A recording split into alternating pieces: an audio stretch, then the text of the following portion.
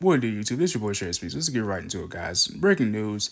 Uh, the first reactions to Venom 3's trailer is in, and a lot of people don't like it. Why is that? Why are fans not happy about that? Well, it's because we see, you know, Mordo and we also see Andrew Garfield's The Lizard in the trailer.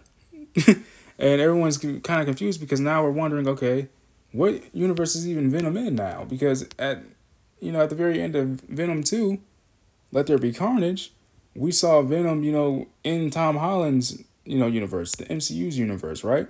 And so that has everyone kind of like, what the fuck? Like, what universe is this motherfucker even in now? Like, isn't he? I thought he was in the MCU, and now we're seeing, you know, Mordo. Now we're seeing Lizard.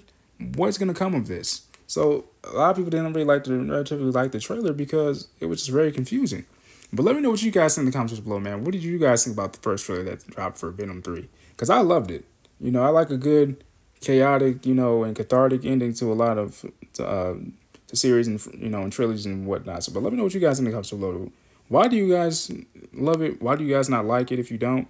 Let me your boy know in the comments below. Let's have a discussion about it. Let me know what you guys think you know, as to what videos you guys would like me to for me to do next, what voiceovers you guys would like for me to do next, on what information and whatnot. Please let your boy know in the comments below in the comment section below as always.